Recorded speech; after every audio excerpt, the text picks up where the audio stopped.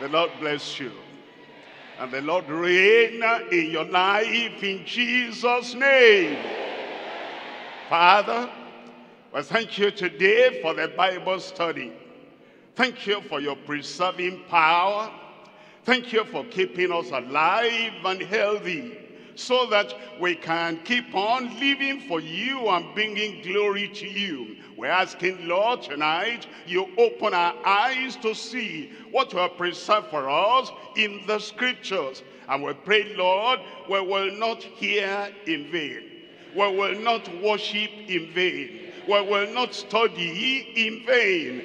We will not just believe in vain. We pray that the reality of the word, the expression of faith, and the evidence and the proof of salvation will be in every life in Jesus' name. We thank you because we know you have answered. In Jesus' mighty name, we pray. God bless you. Consider we're coming to James chapter 2. And today we're looking at verses 14 to 19. It talks about faith. Now there are people that do not understand the book of James, the epistle of James to uh, the church. They think that there's a contradiction between Paul and James. That Paul spoke about faith without works. And that James talks about faith with works. And they think there's a kind of uh, contradiction that when you have faith, you don't have to do anything. There is no work, there is no fruit, there is no evidence.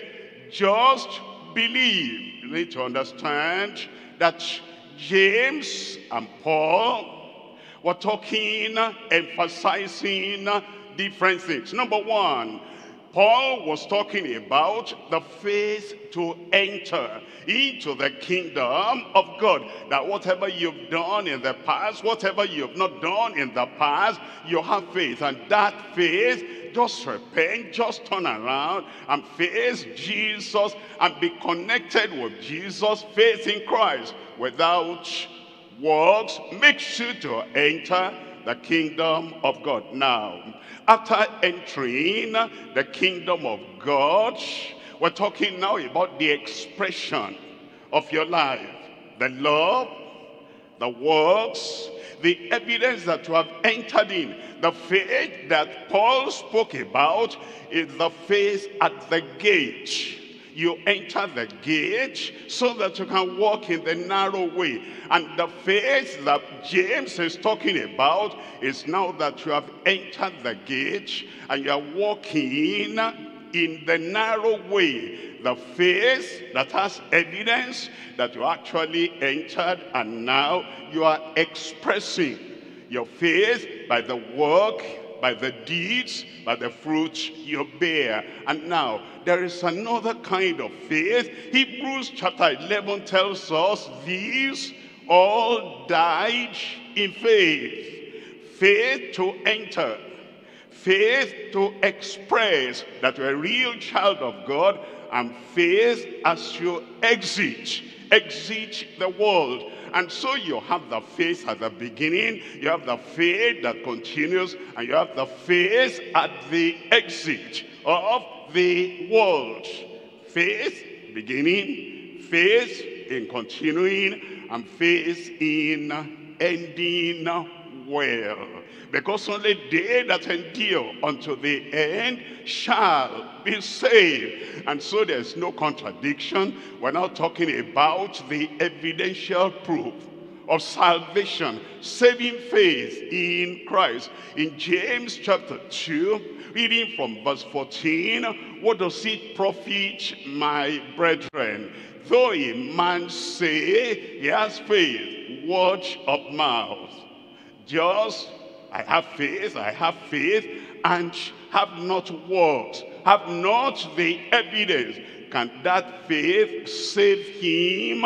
Look at verse 15. In verse 15, if a brother or sister be naked and destitute of daily food, verse 16, and one of you say unto them, Depart in peace. Be ye warmed and filled, notwithstanding ye give them not those things which are needful to the body. What does that profit? In verse 17 it says, Even so, faith, if it has not works, if it has no fruit, if it has no evidence, if you are not walking uh, by that faith, expressing expressing uh, your faith in a definite, practical, profitable way, it says that faith is dead, being uh, alone. Dead, being alone. Then in verse 18, verse 18 tells us, Yea, yes, a man may say, Thou hast faith, and have and I have works. Show me thy faith without thy works, and I will show thee my faith by my works. Verse 19, in verse 19, thou believest that there is one God. Thou doest well. But look at this. The devils also believe and tremble. The devils also believe that the day of judgment is coming. And they tremble. The devils also believe that a day of reckoning is coming and they tremble. The devil also believe the nature of God, that God is holy, that God is just, and that God is impartial, and the devils tremble. But if you say you have faith, you do not tremble at the law you are broken. You do not tremble at the evil life you live. You do not tremble at the emptiness of your life. The devils are even better than you are. And God is a just God. Cannot condemn those devils and then make you go free. We're talking about faith that has proof. Faith that has expression. Faith that has evidence of that salvation that we have in Christ. There are three things we're looking at. Number one, we're looking at the deadness of empty faith without evident fruit. The deadness of empty faith. I believe, I believe, I believe. Where is the fruit? Where is the evidence? The deadness of empty faith without evident fruit. Number two, the deceptiveness. You deceive yourself. You deceive the preachers. You deceive the community. You deceive everyone, but the one that is more serious is yourself. You deceive yourself that you're going to heaven, whereas you're on the broad way that goes, that leads to hell. The deceptiveness of external fruit without essential faith. Fruit, external fruit without essential faith. You have not been planted in the kingdom by faith. It's just like, you know, like those seeds we learned in biology that, you know, the wind just scatters them and they begin to bear some kind of fruit, but there's no root. And there are people like that. They do not have essential faith that plants us in the kingdom of God. They deceive themselves by those external fruit, the deceptiveness of external fruit without essential faith. Number three, the demand, his demand of explicit faith with the expected fruit. We're coming to number one. Number one, we're looking at the deadness of empty faith without evident fruit. Three things we're looking at there. Number one, there's no saving faith without spiritual fruit. No saving faith without spiritual fruit. Anybody can give any testimony. Anybody can shout and say, I have faith, but it is not saving faith if it does not have spiritual fruit. Number two, no sanctifying faith without scriptural fruit. Sanctification is not a word of mouth. Sanctification is not a doctrine in the book. There are churches like ours that have sanctification in their tenets of faith. They have it in the book. They have it in their songs. Holiness unto the Lord. Shout it loud and long. It's in the book. But it must come to the heart. There's no sanctifying faith without scriptural fruit. Number three, no steadfast faith without steady fruit. Steady fruit. The fruit that abides and the fruit that is there all the time. Knock the man the fruit of salvation will be evident. Push the man, the fruit of salvation will be evident. Make him to, you know, put your leg and make him to stumble, but the evidence of salvation will be there. Slap him on the one cheek, the evidence of salvation will be there. Compel him to go. The, the first smile, the evidence of salvation will be there. Take something from him, his clothes, his honor, honor and his self-esteem, take anything from him, the evidence of salvation will be there. Interact with him and you will see the evidence of salvation. If there's no steadfast, if there is no steadfast faith, then there's no steady fruit. If there's no steady fruit, then there is no steadfast faith. We're looking at number one. Number one, we're looking at no saving faith without spiritual fruit. It tells us in Titus chapter 1, verse uh, 16. It says, they profess that they know God, but in works they deny him. You can see contradiction in their lives. They profess that they believe in God. They profess that they know God. They profess they're children of God. But in works, they deny him being abominable and disobedient and unto every good work reprobate they profess that they know God. They're religious, traditionally religious. they're religious, they're denominationally religious, and they are active religiously, but in words, they deny him. Their lives contradict the faith they process, they profess. No, no saving faith, without spiritual fruit. It tells us in John chapter 2. John chapter 2, reading from verse 23. Now, when he, Christ, was in Jerusalem, at the Passover, in the, in the feast, in the feast day, many believed on his name. They said they believed in his name when they saw the miracles which he did. Look at verse 24. In verse 24, but Jesus did not commit himself unto them.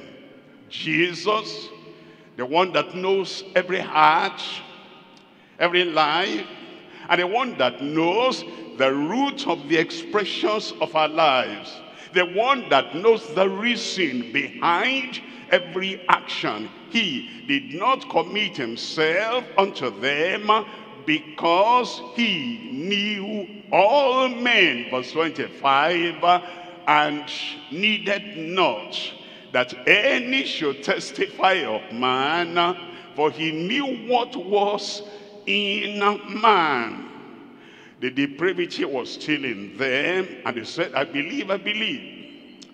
The deception was still in them. I believe, I believe. And the defilement was still in their lives, in their private. And yet they said, I believe, I believe. And Jesus said, he will not commit himself unto them because they did not have the spiritual fruit to back up what he claimed as saving faith. Uh, we're looking at number two now. Number two, we're looking at no sanctifying faith without scriptural fruit. No sanctifying faith. It takes faith to be sanctified. And there are people that profess sanctification. I am sanctified.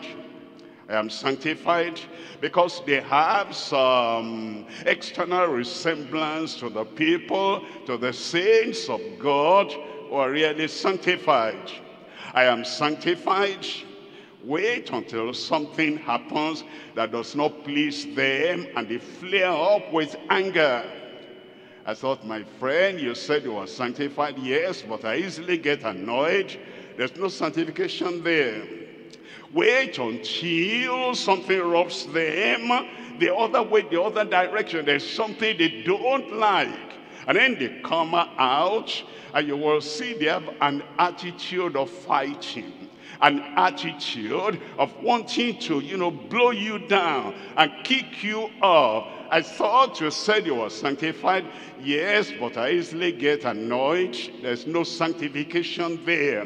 And wait until something is being divided between him and her and he wants to take the lion's share and then his struggle begins i thought you said you were sanctified yes but i don't like anybody cheating me sanctification must have a scriptural fruit it tells us in uh, acts chapter 26 reading from verse 18 acts 26 verse 18 to open their eyes. If I'm sanctified, my eyes will be open, spiritual eyes, and to turn them from darkness to light. Your life will be in the light. There will be nothing covered. There will be nothing secret. Everything will be open because you have been turned from darkness to light and from the power of Satan unto God. When we're saved, and when we're sanctified, our lives are free from the control of Satan. My friend, I've been watching you. Once something annoys you, I can tell. Oh, you see, you, I understand what you are telling me. But you know, it's not me, it's the devil. If you're saved, the devil will not be in control of your life. If you are sanctified, the devil will not be in control of your temper. Because sanctification, the sanctification that comes from God and we receive by faith, clears all doses away. And we're turned from the power of Satan unto God, that they may receive forgiveness of sins, that salvation, and inheritance among them, which are sanctified among them which are sanctified by faith that is in me, that is in Christ. It tells us in Galatians chapter 2, verse 20. Galatians chapter 2, we're reading from verse 20. It says, I am crucified with Christ.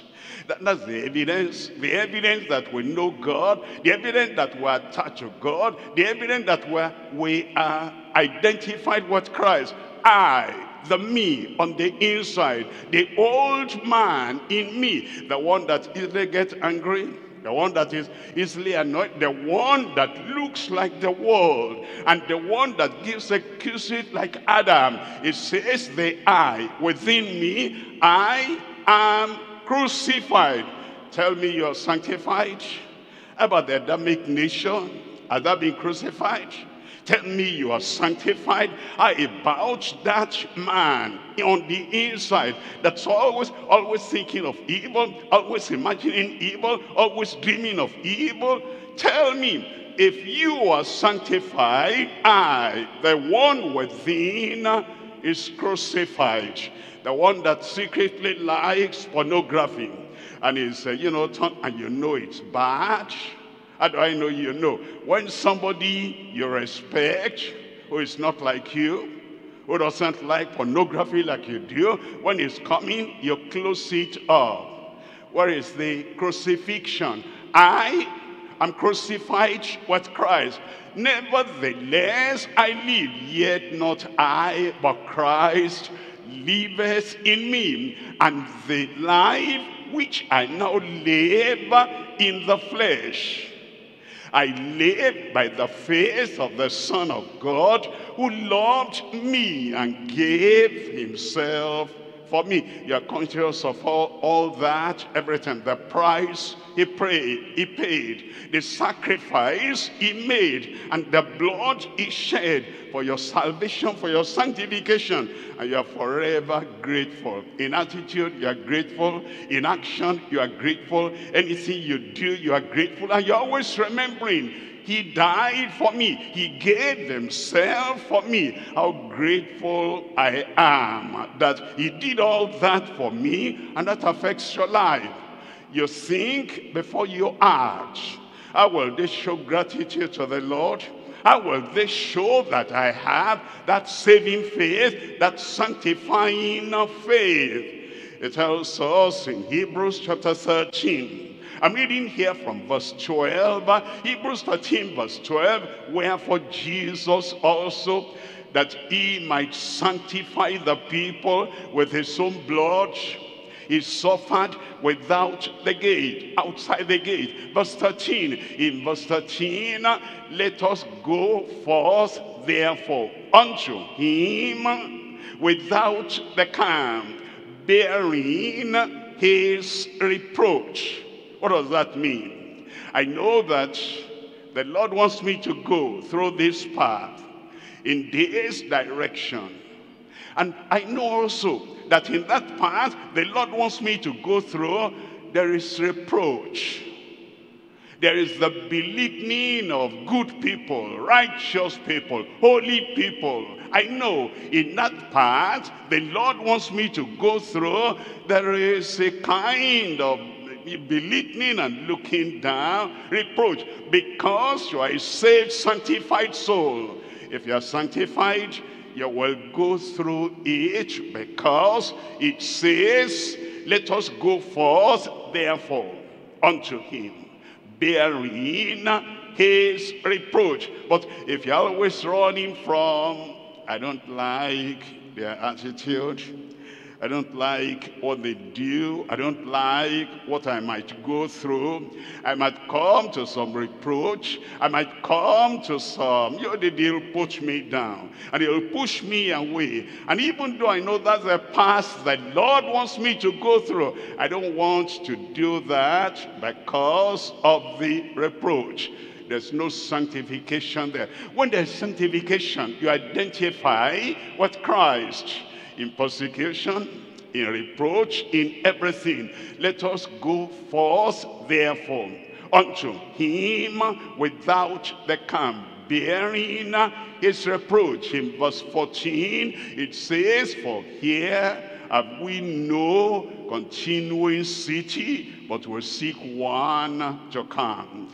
The people who are only for the world, only for the earth, they're running away from the challenges of life. They cannot come out and express the goodness and the grace of God, the salvation, the sanctification of the Lord. They're only thinking about the, about the people who know that here we don't have any continuing city and we're seeking one to come. They're free they come out. They do what the Lord wants them to do, reproach or no reproach insult or assault, whatever, because that depravity within have been taken away. And whatever they meet, the reproach and the insult and the assault, there's no anger. And there is uh, no fighting because they know whose nature they now have. We're looking at number three here. Number three is the steadfast faith Without no steadfast faith, without steady fruit.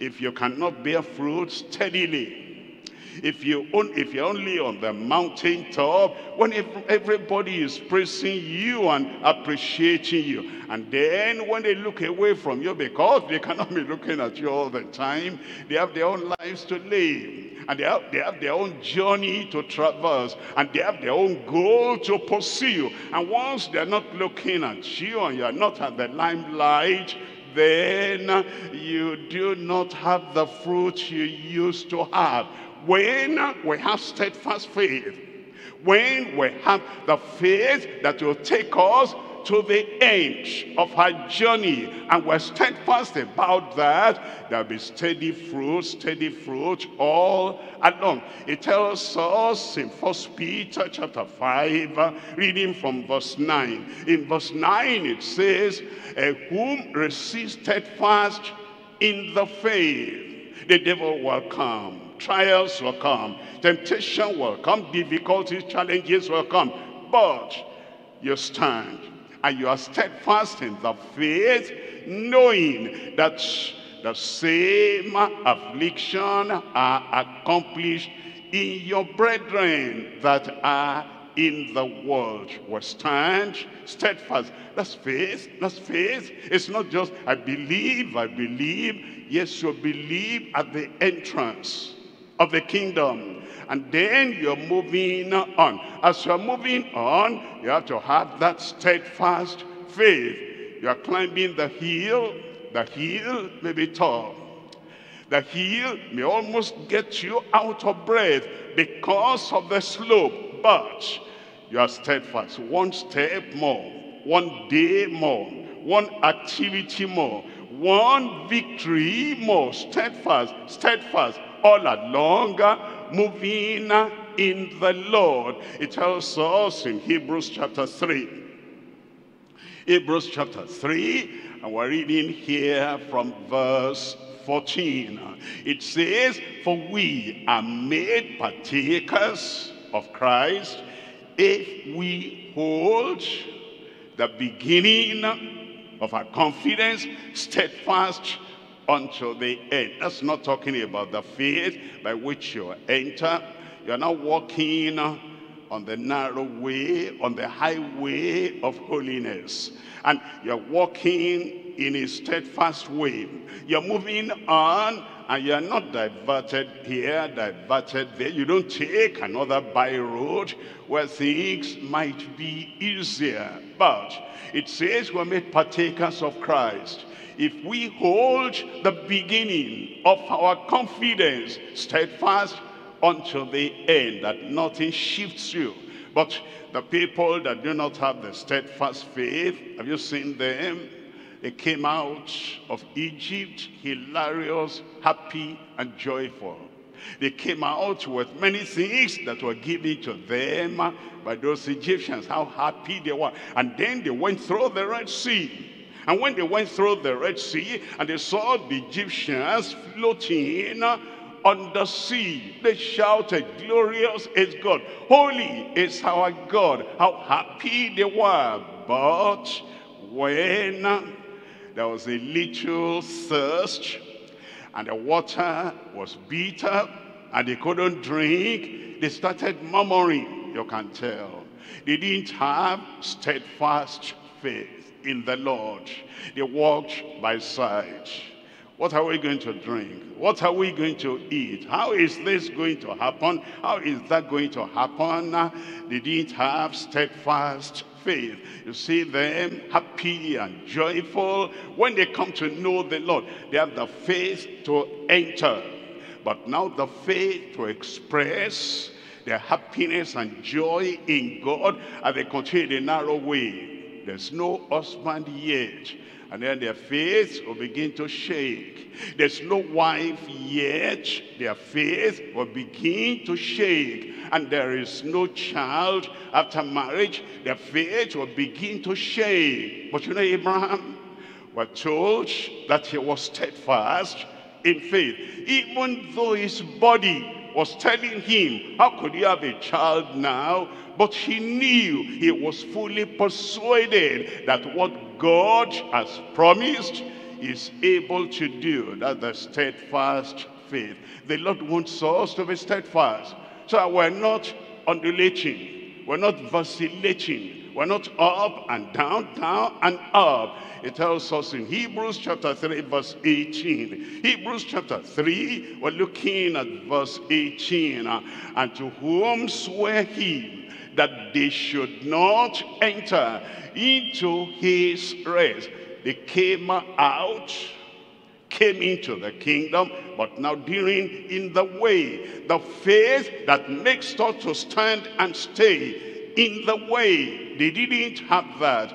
And so they could not enter into his rest, but to them that believed not. They believed at the beginning, but the faith did not continue. In Verse 19, in verse 19, so we'll see that they could not enter in because of unbelief. They could not enter in because of unbelief. In 2 Peter chapter 3, verse 17. 2 Peter chapter 3, verse 17.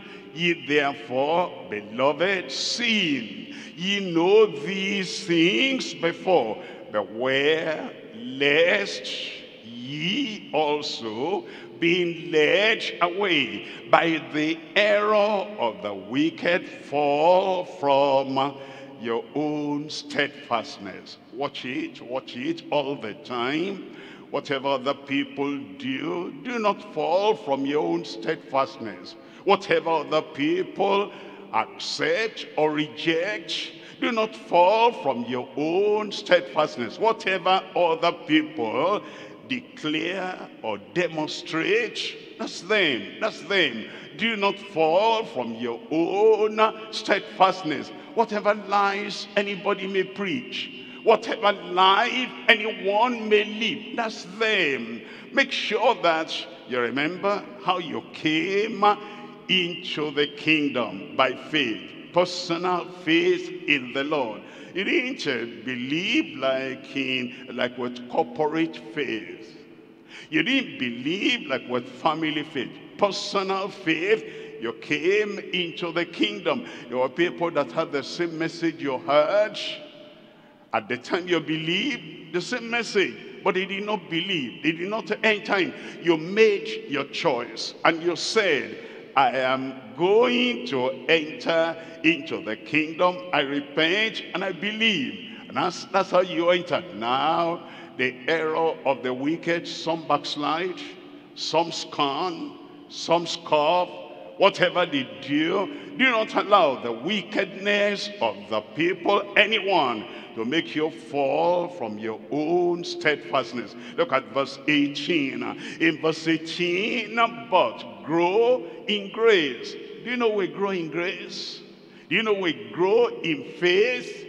Do you know we grow in love? Do you know we grow in consecration? Do you know we grow even in our steadfastness? Do you know we grow in our absolute surrender unto the Lord? Grow. Because if you don't grow, you will retrogress. You'll go back, but grow in grace and in the knowledge of our Lord and Savior Jesus Christ. To him be glory both now and forever. Both now and forever. In your life now, in your life forever. Amen. We're coming to point number two. Point number two, the deceptiveness of external fruit without essential faith. We're looking at James chapter 2, and we're reading from verse 17. James chapter 2, verse 17. Even so, faith, if it has not works, if it has no expression, if it, if it has no fruit, is dead being alone. That's dead faith that does not have fruit, that does not have expression, that does not have accompanying work, That's why we're talking about the deceptiveness of external fruit without essential faith. Look at verse 18. In verse 18, yea, a man may say, thou hast faith, and I have works. There are people that choose whatever they want. Okay, there's faith, I choose faith. There's works, you choose works. Okay, there is holiness. You choose holiness. There is liberty. I choose liberty. There are people that divide the provisions of the word of God. And whatever their flesh cannot endure, I don't choose that. Whatever will build up their flesh, accept their lust, accept their weakness, accept and pamper them, pet them, and always encourage them, even when they're sinning. That's what they want. I like encouragement. I choose encouragement. Choose the whole word of God. Everything he has given us. Man shall not live by bread alone, but by every word that proceedeth out of the mouth of God shall man live. Thou hast, thou hast faith, I have works. Show me thy faith without thy works, and I will show thee my faith by my works. We're looking at three things here. Number one, number one, we're looking at the supernatural fruit, superficial fruit on the surface appears like fruit. You know, sometimes you see uh, some of these uh, wax uh, fruit, like pineapple, and it looks like real, but it's superficial. A bite will disappoint you. There are people that have a fruit like that, looks like fruit, but when they open their mouth to talk, you can see it's superficial. They don't have the real fruit. And when they, you know, when something comes across them, then you can see it's wax. It's superficial. It's not real. There is superficial fruit without faith in the Savior. Number two is the spectacular fruit without the fruit of the Spirit. Spectacular fruit, that is, they can work miracles. They can cast out devils in the name of Jesus. The, the devil doesn't know their life.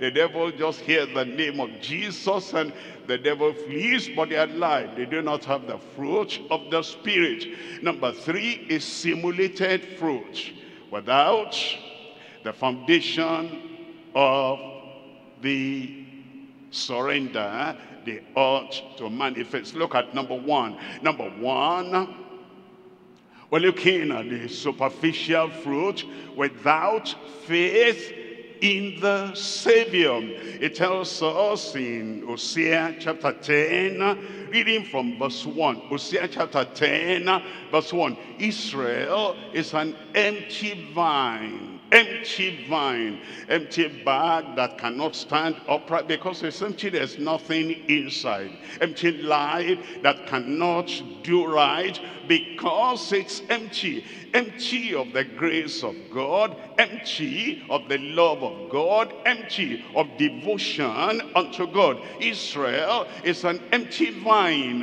He bringeth forth fruit unto himself.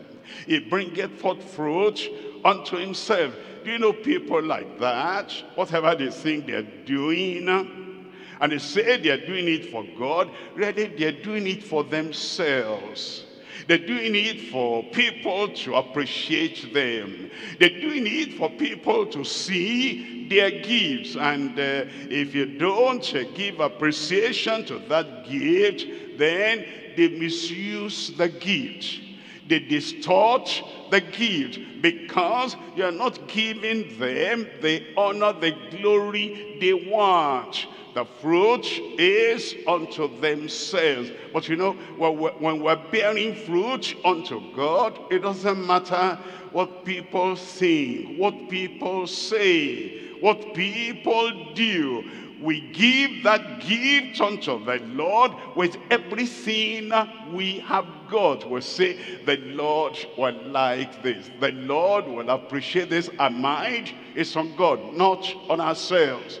Our mind is on God, not on people that can either praise us or blame us. But Israel, Israel is an empty vine. He bringeth forth fruit unto himself according to the multitude of his fruit. He has increased the altars according to the goodness of his land. They have made goodly images. Look at verse 2. In verse 2, it says, Now their heart is divided. Their heart is divided. They are not staying on God. They're not focusing on God. They're not relying on God. They're not walking. They're not living for the glory of God alone. They're looking for another thing. It says their heart is divided. Now shall they be found faulty when your heart is divided, when you are not totally leaning on the Lord, when you are not totally serving the Lord, but you have another thing in focus. It says, shall be found faulty. It shall break down their altars. He shall spoil their images. Look at verse 12. In verse 12, now it says, sow to yourselves in righteousness. If you're going to serve the Lord, if you're going to be steadfast with the Lord, if you're not going to remain superficial, sow yourselves in righteousness, reap in mercy, break up your fallow ground, for it is time to seek the Lord till he come and rain righteousness upon you. Hey, look at Matthew chapter 23. The people that have superficial fruit without faith in the Savior. It's not faith in the Savior producing what they're doing. It's self-effort. It's commitment to religion. It's commitment to the things that they think people will appreciate. And they'll go any length to have the praise of men. Superficial fruit without faith in the Savior. Matthew chapter 23, verse 23. Woe unto you, scribes and Pharisees, hypocrites, for ye pay the tithe of mint and anise and cumin, and have committed, have omitted the weightier matters of the law the weightier matters of the law, that one uh, they omitted. Justice or judgment, mercy, faith. These ought ye to have done. That he is giving of tithes, yes, you should have done that. That's all right. But you shouldn't have left the other undone. Everything you do in action, in life, in expression, of what you believe must be coming from the heart of faith. Look at verse 25. In verse 25, it says, Woe unto you, scribes and Pharisees, hypocrites, for ye make clean the outside of the cup, meticulous, the outside of the club of the cup. What people will see, what people will know, they're meticulous in keeping that right, in keeping that clean. And it says you do that for the platter, but within they are full of extortion and excess. Okay, kidding. No, people will not see this. Their hearts have not been cleansed. Their hearts have not been emptied of evil things, of defilement. Look at verse 28. In verse 28 it says, Even so, ye also outwardly appear righteous unto men. Righteous unto men. That is, unto men who are not living with them. The people who are living with them, they can tell. They can tell of the temper. They can tell of the anger. They can tell of evil action, those who are living with them. But those who don't know them, they appear righteous unto men. Uh, the people who look at only the outward expression. Thank you, sir. If that's only what you're looking at, thank you, madam, and then you bend. If that's all you're looking for, and you don't know the heart, they appear righteous outwardly unto men, but within ye are full of hypocrisy and iniquity. Of hypocrisy and iniquity. Why don't you check up your heart? Check up on your life. We've heard enough. We know about salvation. And we know if any man be in Christ is a new creature. How new are you? The new creature in the new covenant. We know that except your righteousness shall exceed the righteousness of the scribes and Pharisees, ye shall in no wise enter into the kingdom of God. Do you ever think of entering the kingdom of God? Or do you just act like a Pharisee? Or do you just live like a Pharisee? When last did you ask for grace to do what you need to do beyond your human strength? When last did you pray that God will give you the power to subdue the flesh and subdue the depravity that is trying to raise his ugly head from your life? Are you not just satisfied with the outward dressing, outward appearance, outward uh, similarity to the saints of God? Is that enough? That superficial fruit without faith in the Savior. And we're looking at Isaiah chapter 58. And we're reading from verse 1. Isaiah chapter 58, verse 1. Cry aloud, spare not. Lift up thy voice like a trumpet and show my people their transgression and the house of Jacob their sin. Look at verse 2.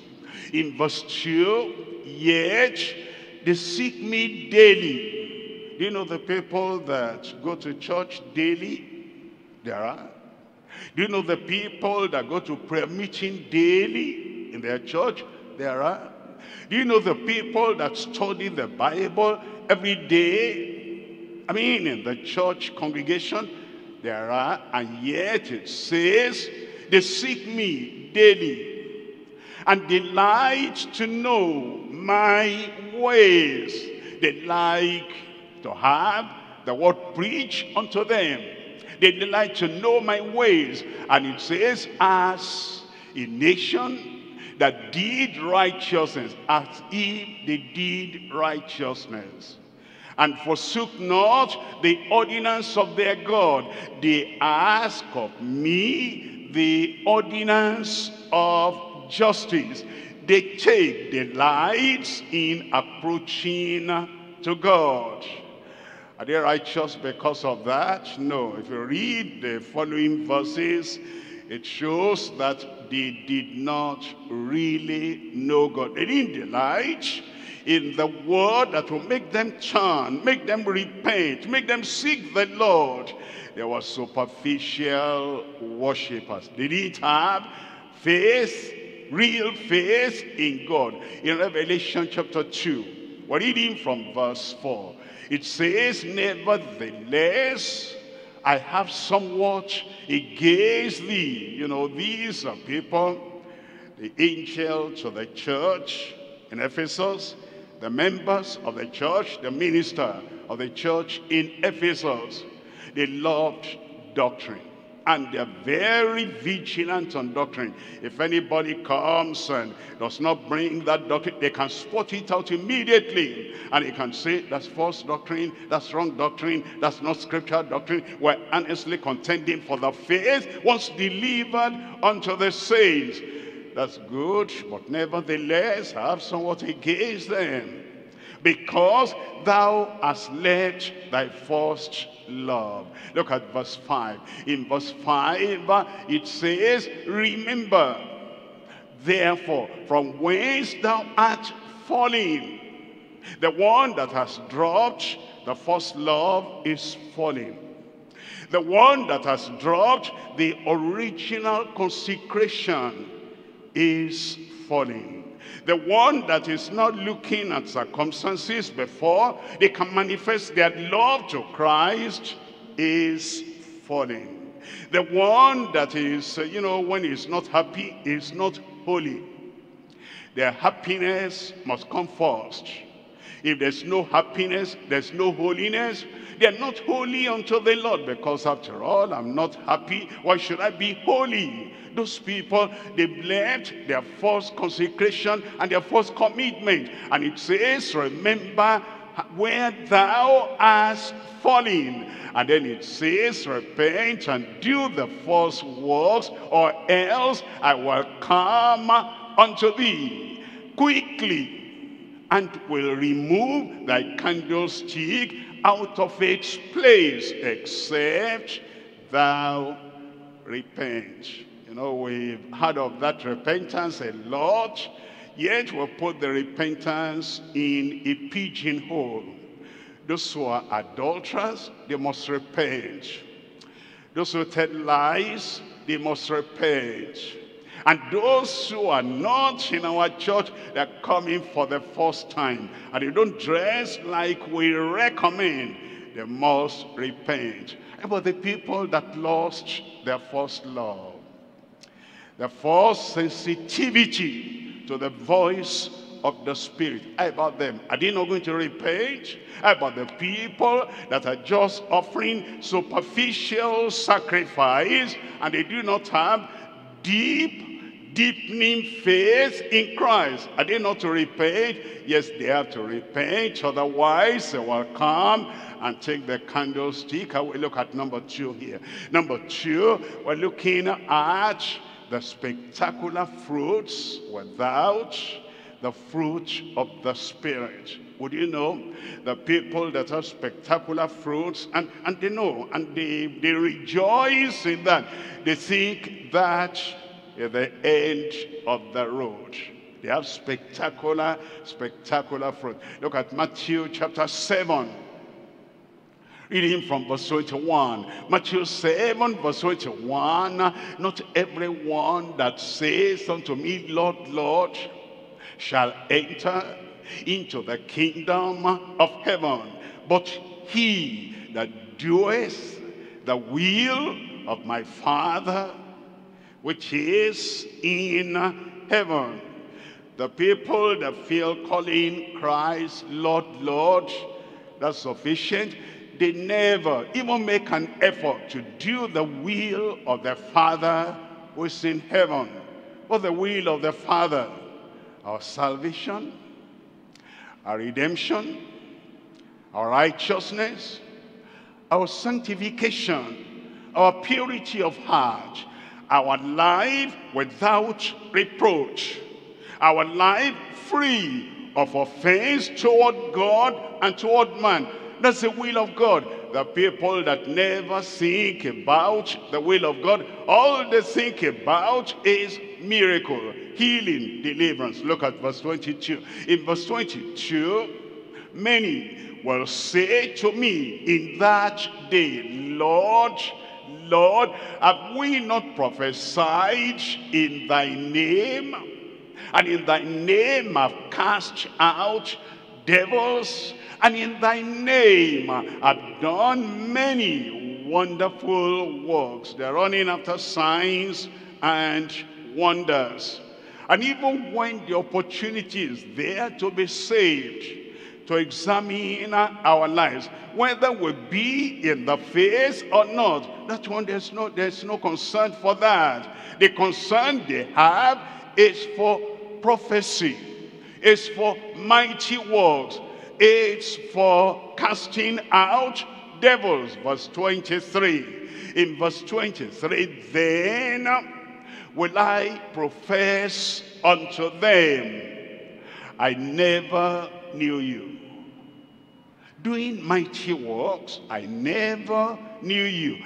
They did not have the fruit that showed that the Holy Spirit is present in their lives. Then will I profess unto them, I never knew you, depart from me, ye that work iniquity. Where should your priority be? Your priority should be on having the fruit of the Spirit. Christ is coming, and he may come soon, anytime from now.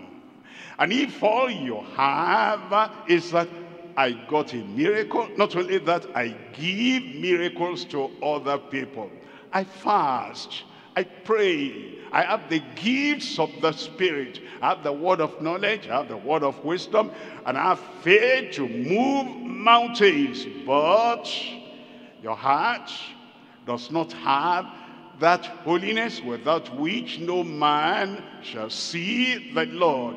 At the end, you'll be of all men the most miserable. In First Corinthians chapter 13, First Corinthians chapter 13, reading from verse 1. Though I speak with the tongues of men and of angels, and have not charity, I am become as sounding brass and a tinkling cymbal. Verse 2. In verse 2 it says, And though I have the gift of prophecy, and understand all mysteries and all knowledge. And though I have all faith so that I could remove mountains and have not charity, the love that works by faith. I am nothing. Look at verse 3.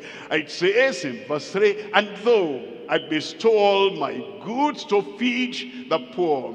And though I give my body to be burned. You know, there are people that are fanatical. And if there's any argument about your church and our church, they can fight. They can say, our pastor is the best in the land. No! We have a pastor you have not heard a pastor is greater, better, and deeper than your deeper pastor. Then they, they remove their coat and ready to fight. What are they fighting about? They're fighting uh, about opinions. They're fighting about what he says against our people and what he's saying about his people. If you give your body to be burnt, and you are ready to defend your ideology. You are ready to defend your religion. You are ready to defend anything that you appreciate, that other people don't appreciate. If you die in that anger, in that annoyance, you die in that hot, furious temper, there's no heaven there. You see, what's important is the fruit of the Spirit will to have the love and the joy and the peace and the gentleness and the meekness and the long suffering and the fidelity, the faith and the steadfastness, the temperance, the self-control. That's, that's what we need and that is what shows that we belong to the Lord but fighting about this and fighting about that and about this other thing. It says will miss the kingdom of God. We're looking at Matthew chapter 24. And I'm reading from verse 24. Matthew chapter 24, verse 24. And it says, For there shall arise false Christ and false prophets, and shall show great signs and wonders. Don't be deceived. In these last days, there will arise prophets, false prophets, and false Christ that will show great signs and wonders in so much that if it were possible, they shall deceive the very elect. In verse 25, it says, Behold, I have told you before. In Second Thessalonians chapter 2, reading from verse 9. Second Thessalonians chapter 2, verse 9. Even him whose coming is after the working of Satan with all power and signs and lying wonders. The signs that deceive, the wonders that deceive, the miracles that deceive, lying wonders. In verse 10, in verse 10 it says, and with all deceivableness of unrighteousness in them that perish, because they received not the love of the truth. They received not the love of the truth that they might be saved. All they're looking for is the sensational that will make them feel excited. Look at that miracle. Look at that miracle. But they do not have the love for the truth that they might be saved. Look at yourself. Have you shifted your ground? Have you shifted from having salvation to having just signs and wonders and miracles? Look at verse 11. In verse 11, it says, And for this cause, God shall send them strong delusion that they should believe a lie. There are people, millions of them in the world once they see miracle, they don't examine the doctrine the people preach. Once they see healing, deliverance, and once they see some sensational things, that man can pray. And once he prays, look at what happens. They do not look at the false doctrine beneath that miracle. And it says, because of that, God shall send them strong delusion that they should believe a lie. In verse 12, verse 12 says that they all might be damned who believed not the truth, but had pleasure in unrighteousness. We're looking at number three here. Number three, the simulated fruit without the foundation of surrender. If we're going to be acceptable to the Lord, there must be absolute surrender unto him. You will have all or nothing. If you're bargaining, God, I give part of my heart and part of my love and part of my devotion unto you. I have another entity I have another deity that I want to give the other part of my love, the other part of my consecration, the other part of my devotion. It says he will not share his glory with any other deity, with any other man. He will not share the submission you have with any other. He'll not even share it with you. If you want to keep part of the surrender, part of the submission, part of the consecration, part of your love for yourself, it's not going to accept your self-love or the love of God. Simulated fruit without the foundation of surrender. And we're looking at Luke chapter 16.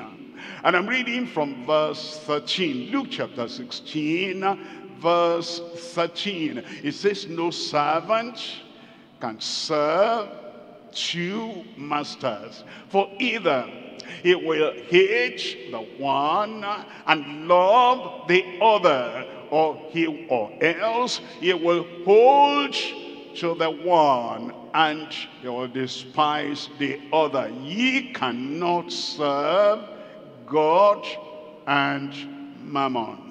We must make a choice. If we're going to love God, love him with all your heart, or your soul, or your mind, all your strength. He wants total, absolute surrender. And he wants that before any other thing you offer unto him. What if a wife in the home will say, my husband, this is just who I am. I'll cook your food. I'll take care of the house. I'll be a great, a good homemaker. Only one thing I cannot give you.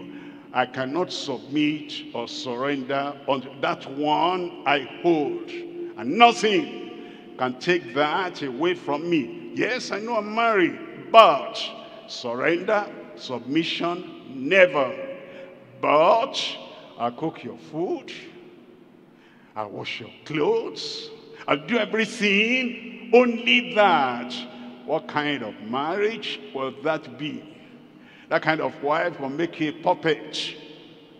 That she can trample upon you and go anywhere because there's no surrender. The same thing, that's the way people are treating God. They say, God, I read your book, I read the Bible, I'll serve you, I'll worship, I'll do everything, but my worship will be devoid of surrender and submission. What do you think God thinks about that? He doesn't want those simulated fruits without absolute surrender unto him. That's why he says, no man can serve God and mammon. Look at verse 14.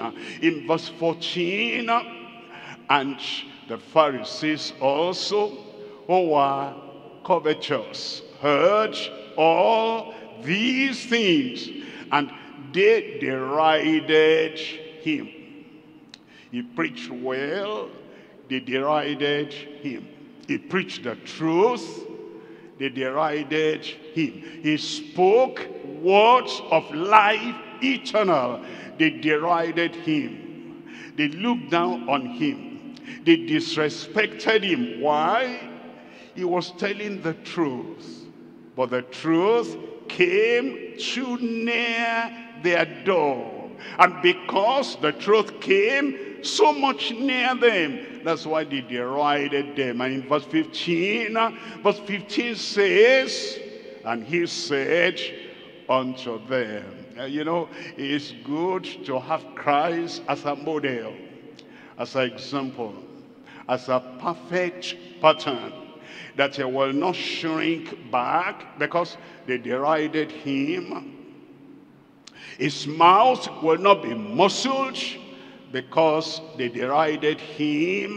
He will not stop telling the truth, the burning truth in the hearts of men because they derided him. And so he said unto them, Ye are they which justify yourselves before men, but God knoweth your hearts.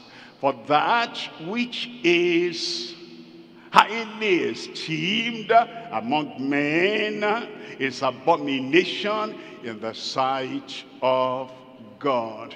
And that's what we need to understand, that uh, if we're serving the Lord, there's no pretense, there's no cover up, there's no spirit, there's no uh, kind of superficiality. Uh, we're looking at uh, Romans chapter 10, reading from verse 3. Romans chapter 10, we're reading from verse 3.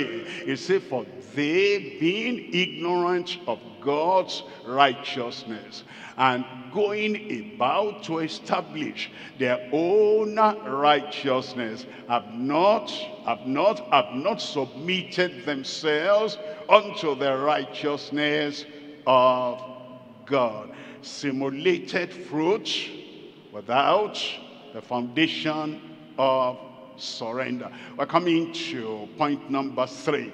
Point number three, we're looking at we're looking at the demand for explicit, very clear, unshaded, unclouded faith with expected fruit. The demand of God, the expectation of God, the thing that God is looking for in every heart, every heart that comes to him. That's the demand of explicit faith. By faith, Abraham, when he was called to leave the Ur of the Chaldeans, he led going after what God had said, not knowing whither he went. Faith in action. By faith, Noah when he was told to build an ark, he moved with fear and faith so that he built the ark for the safety of his family and the people that were here. By faith, Enoch walked with God and he was not, for God took him. For before his translation, he had this testimony that he walked with God. These were people that had explicit faith, clear faith that you could see and you can tell here is the faith of the true believer. And that's what God demands. He doesn't want a kind of doubtful faith. Is that faith or something similar to faith? He doesn't want a kind of a superficial faith that has no action, that has no demonstration, that this is total, complete, absolute faith unto God. The demand for explicit faith with the expected fruit. In James chapter 2, we're reading from verse 18. James chapter 2, reading from verse 18. Yea, a man may say, Thou hast faith, and I have works. Show me thy faith without thy works, and I will show thee my faith by my works. In verse 19, verse 19, thou believest that there is one God that doeth well. The devils also believe and tremble. What's the apostle uh, James telling us here? He said, when you see the judgment of God, when you hear of the judgment of God, when you hear that God is a consuming fire, do you tremble? Do you stop what you're doing? Do you turn around? Do you repent? Do you go to God with a sober heart? He said, if you don't, well, the devils tremble when they hear of the coming judgment and when Christ comes and he wants to drive out the legion. They're so afraid, they tremble. They say, don't cast us into the abyss. And then they said there are swine there, cast us there. And they said, go. You see, they tremble because they know the judgment to come. Do you tremble when you hear of the judgment to come? The axe is laid on the root of the tree. And everyone that comes to God and believes in God must repent and turn away from evil. Uh, we're looking at three things here. Number one, examine your faith in the light of the New Testament. Examine your faith in the light of, look at Abraham. Hebrews chapter 11. Look at Abel. Look at Enoch. Look at Noah. Look at Moses.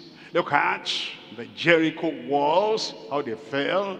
Look at the expression of faith and examine your faith in the light of the New Testament. Number two, evaluate your faith. Are you weighed and found wanting? Is your faith going to make you ready for the coming of the Lord? Why are you coming to study the word of God and never evaluate what you have? Whether what you have is enough to enter into the kingdom or not. Evaluate your faith in line with noticeable trembling.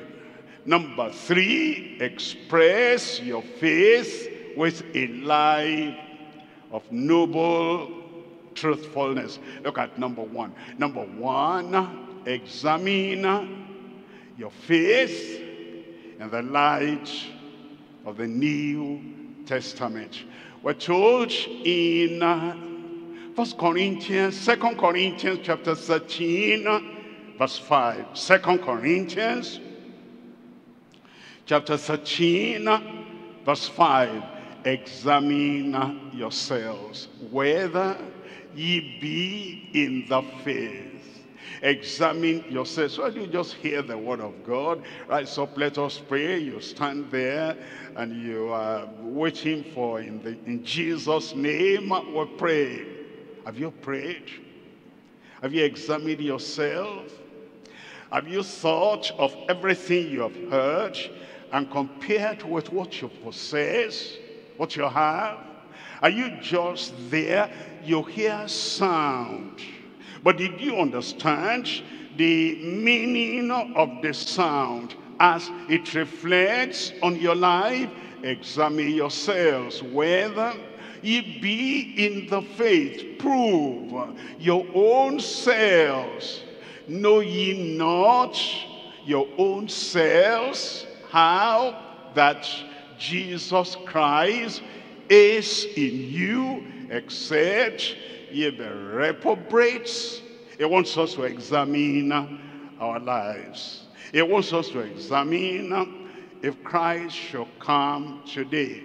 Am I ready for the calling of the saints up above? We're looking at number two here. Number two, evaluate your faith in line with noticeable trembling. Evaluate that faith. Evaluate that faith. And we're coming to Psalm 2. And we're reading from verse 11. In Psalm 2 verse 11, serve the Lord with fear and rejoice with trembling. And rejoice with trembling. This is the inspired word of God. Do you ever tremble? Anything will read? Do you pass it on to others? That's talking about the Pharisees. That's talking about the Sadducees. That's talking about the disciples before the cross. That's talking about leaders and preachers. And you put everything in different pigeonholes, and you never put anything in your pigeonhole. Where will you spend eternity? Serve the Lord or fear? What kind of fear? Should I all do all this? Running up, running down, sweating, climbing, descending, and yet, what if I'm not acceptable to God in the final day? What if my secret deeds are so serious and blamable in the sight of God, and all these outward activities are not going to recommend me to God? That's what it's saying rejoice were trembling. Verse 12, um, in verse 12 it says, kiss the son, lest he be angry and ye perish from the way. When his wrath is kindled but a little.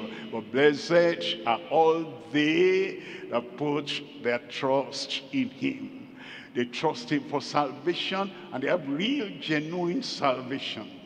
They trust God for sanctification and they have real purging, purifying of their heart and life.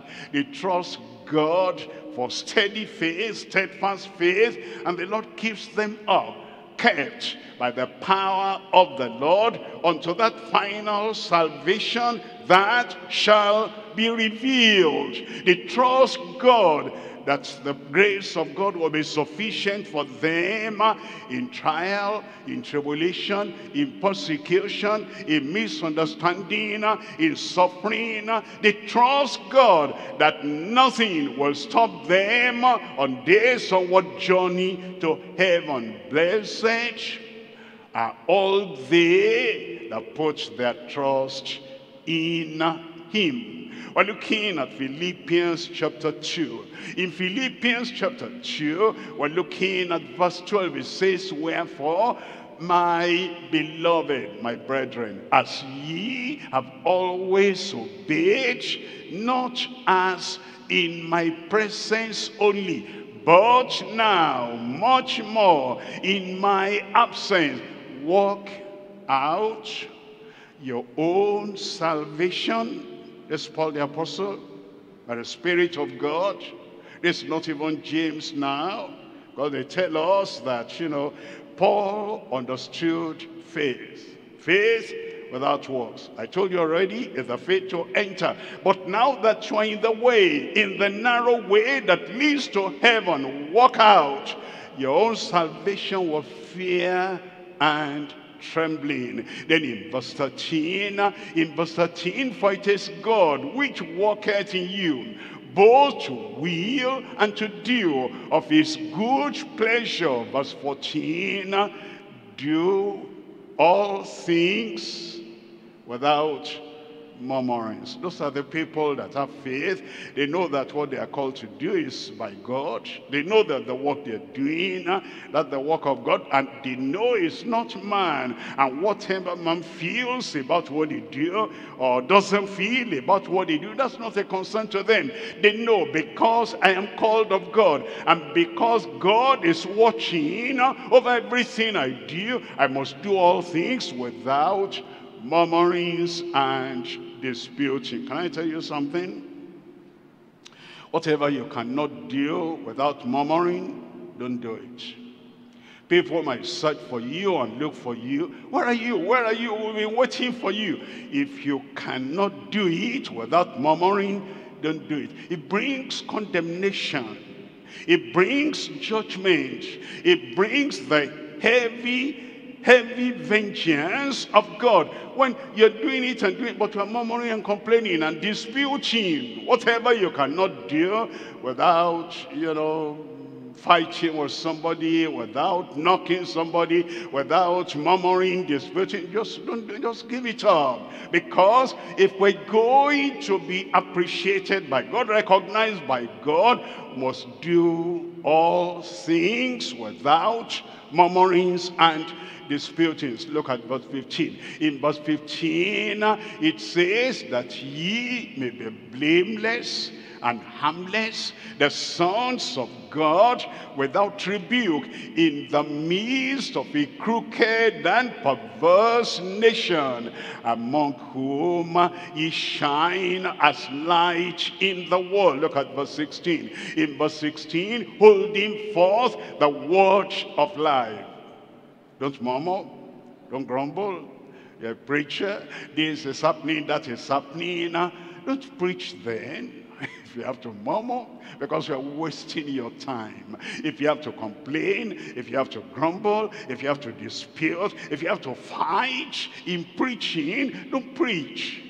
Don't allow any murmuring, any complaining, and any disputing, and any debate, and any grumbling, holding forth the word of life, that I may rejoice in the day of Christ, that I have not run in vain. If you murmur, you run in vain.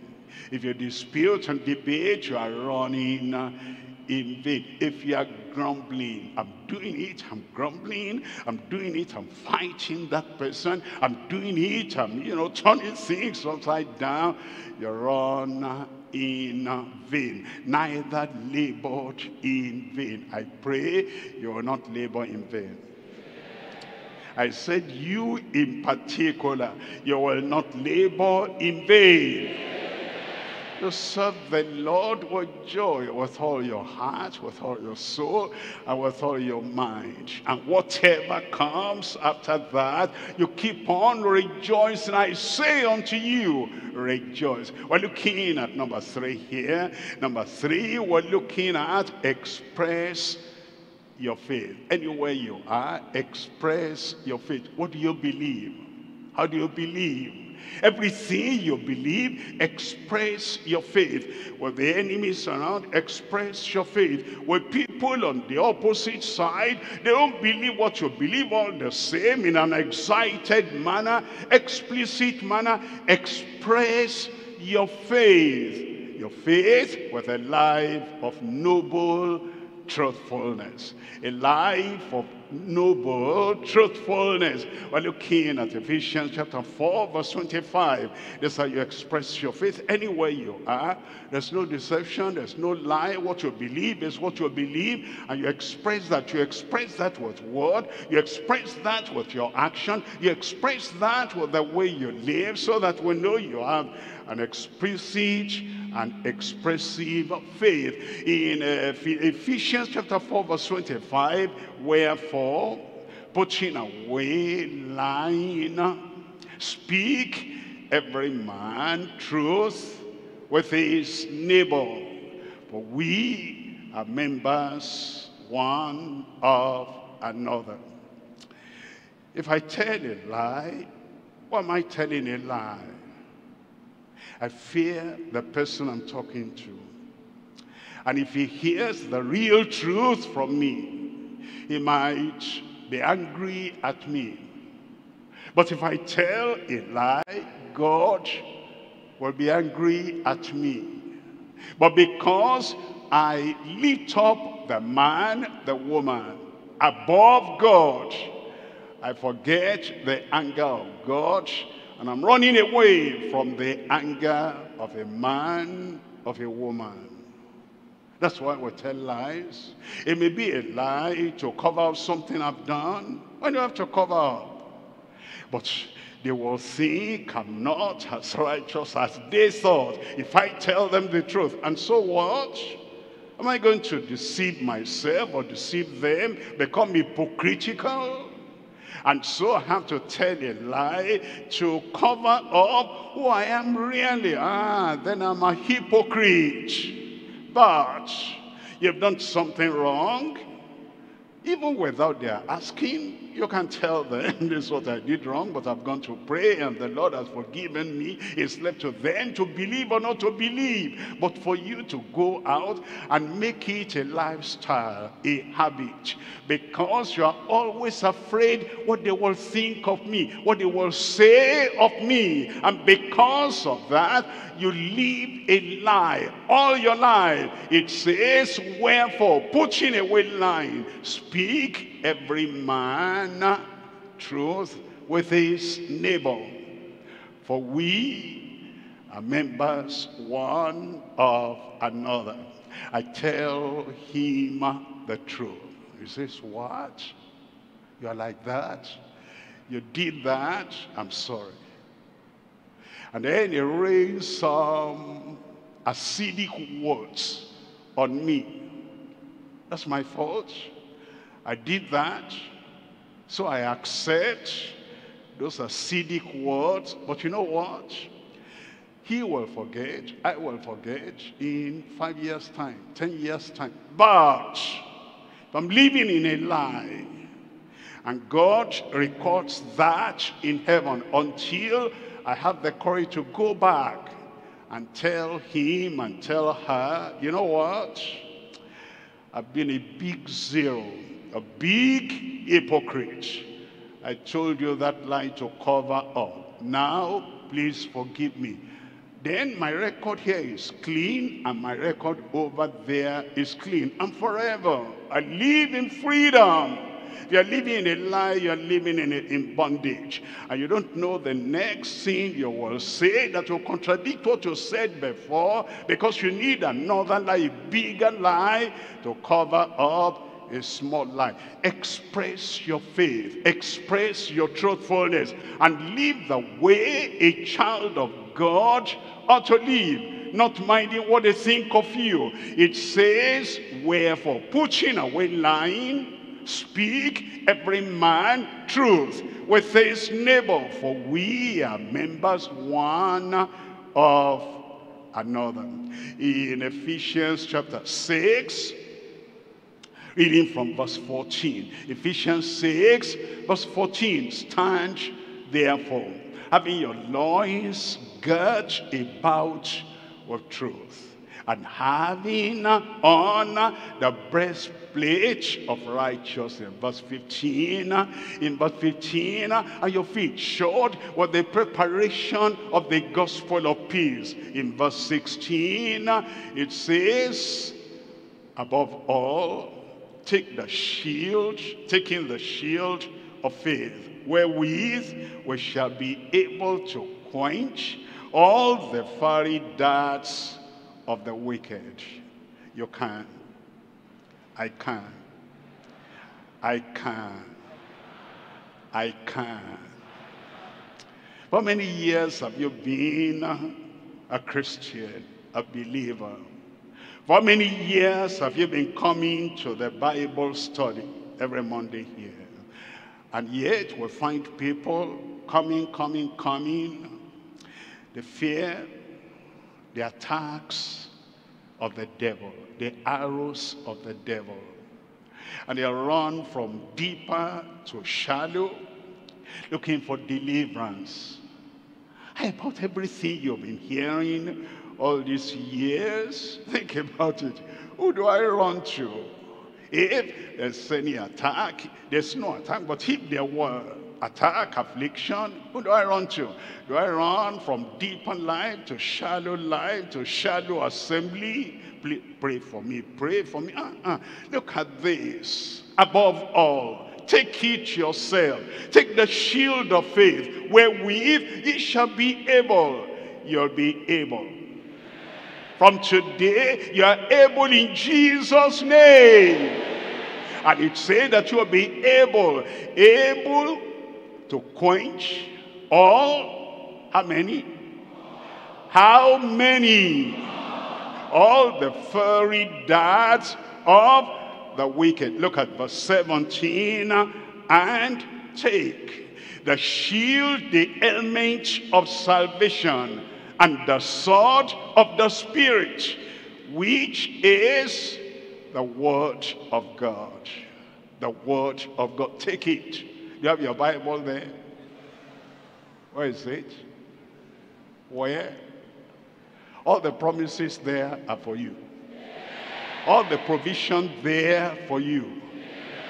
This Bible will not run away from any devil, any demon, any power of darkness. Put it in your heart and let it come out of your mouth. Every demon will run away from you. All the powers of darkness will be broken and destroyed in Jesus' name. We've been looking here and there. We've been looking there, that place and that place. Stop looking around. Look into the word. Your victory will be permanent in Jesus' name.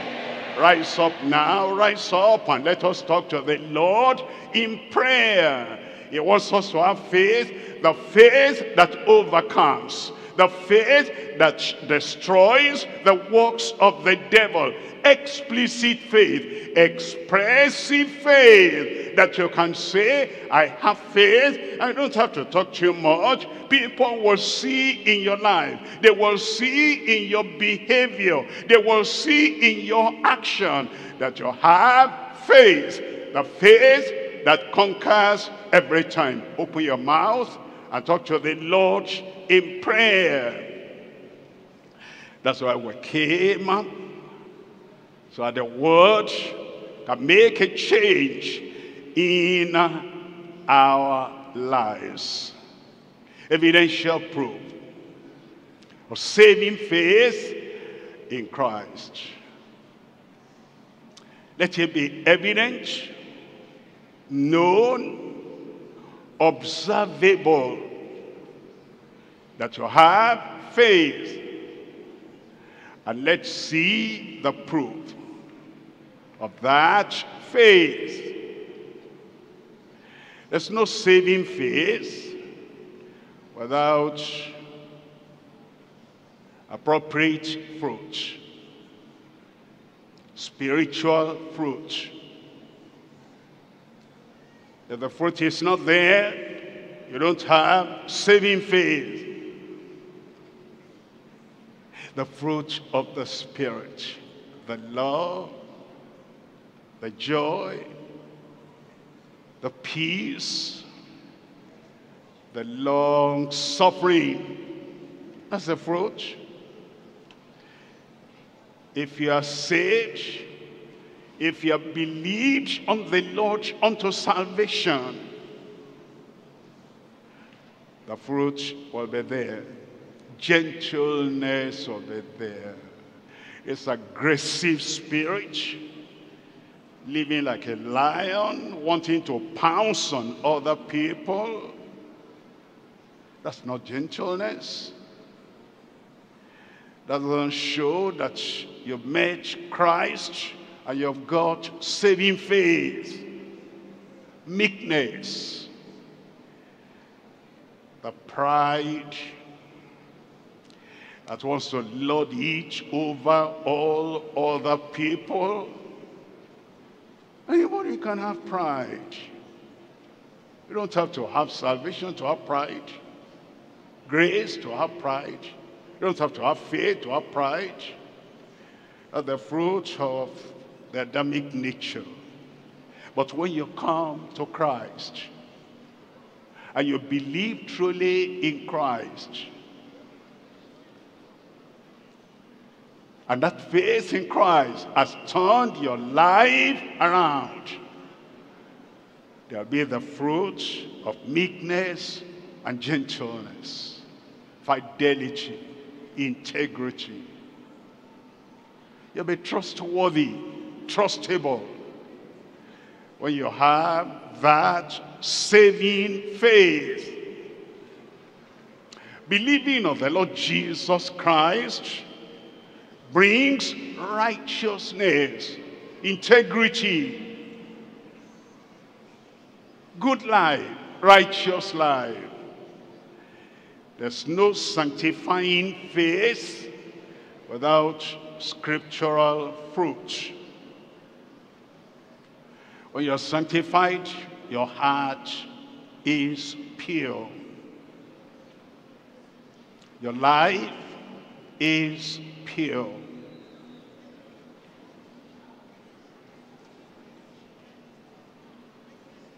Your secret, privacy, pure. When you're sanctified, no evil imagination, no appearance of evil, no covering up, the depravity of the Adamic nature, uprooted, destroyed. And you love the Lord with all your heart, with all your soul, with all your mind. When you are sanctified. By faith, your heart is purified. But if you're carrying around a polluted heart,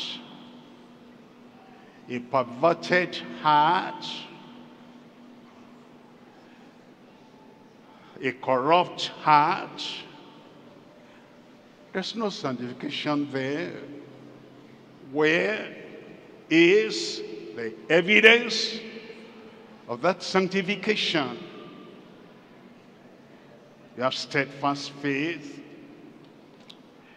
Whatever they do, whatever they say against you, your faith is steadfast in the Lord.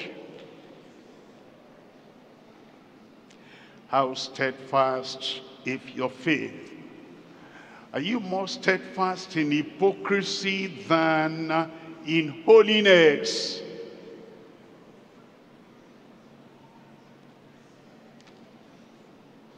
Examine yourself.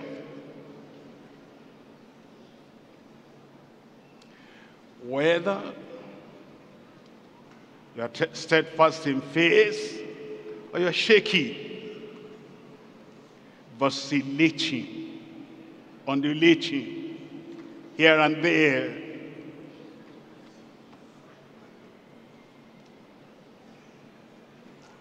Do not deceive yourself.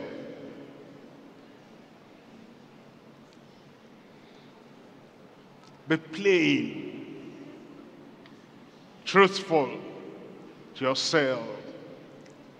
And whatever you know you are missing, go back to Calvary. Reaffirm your faith in the Lord.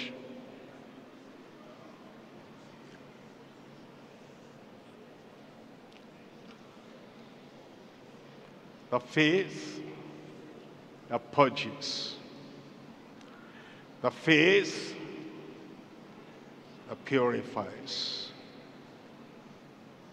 the faith that makes you go beyond superficiality, that makes you sincere. And you don't care for what people say of you what they think of you. Men, women, neighbors are not in control of what you do, of what you don't do. Whatever they say, let them say. Serve the Lord without superficiality. Don't take delight in spectacular fruit, sensational miracles. And you're not thinking of real salvation.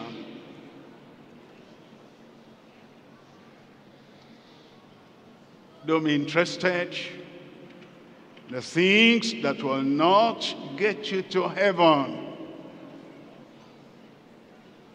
Think about what will get you to heaven, that faith that makes you the man, the woman in Christ you ought to be.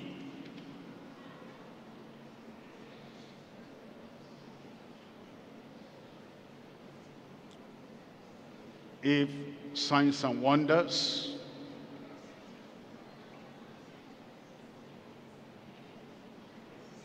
spectacular, sensational miracles are taking the place of salvation, sanctification, holiness in your heart. Dethrone that emphasis on the spectacular, sensational, and bring back the essential theme. Blessed are the pure in heart, for they shall see God. Follow peace with all men and holiness, without which no man will see the Lord.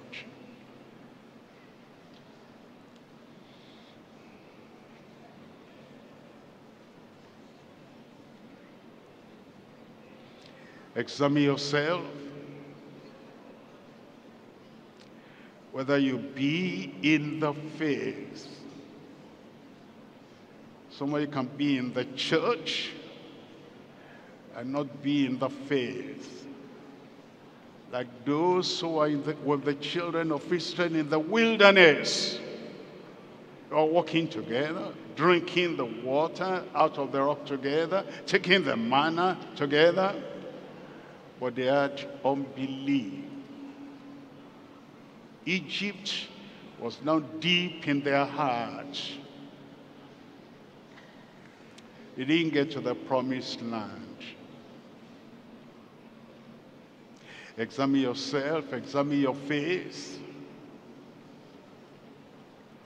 examine your life, evaluate your profession of faith, evaluate.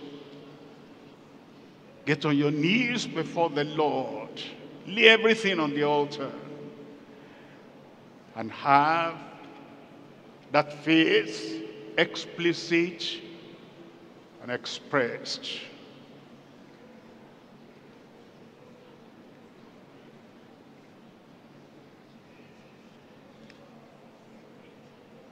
That will bear the fruit of truthfulness and transformation.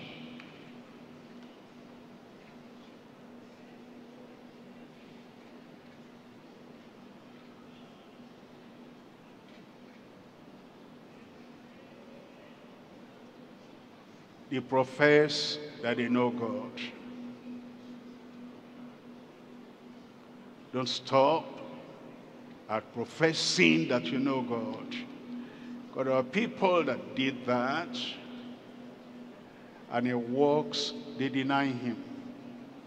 Being abominable, reprobates unto every good work.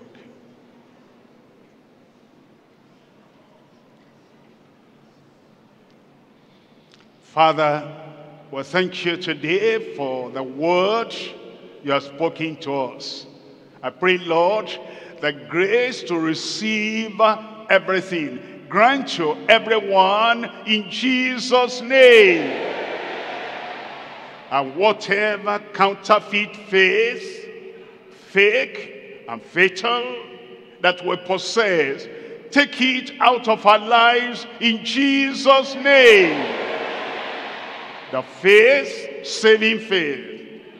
The faith, sanctifying faith. The faith, steadfast faith that bears appropriate fruit. Give unto everyone in Jesus' name. Help us to keep on looking unto Jesus. And help us, Lord, that we forget what people say, what people think, what people feel of us. But to center our focus, our faith, our leaning, our confidence, and trust in you and you alone. Give us that life that is lived in Christ. Lived by Christ in us. Lived for Christ and for his glory. Help us, Lord, that from now on, our eyes will be on the Lord alone. And all the fear of man, all the focus on man, all trembling before man, cancel from every life. Make us live the victorious life. And every arrow, every dart, fiery dart of the devil will quench everything in Jesus' name. Everything you conquered at Calvary will be under our feet. Everything you provided at Calvary will reflect in our lives. That our life will not be lived on the shadow of a man, but in the splendor of our mediator. Confirm in every life. Thank you, Lord. In Jesus' mighty name we pray.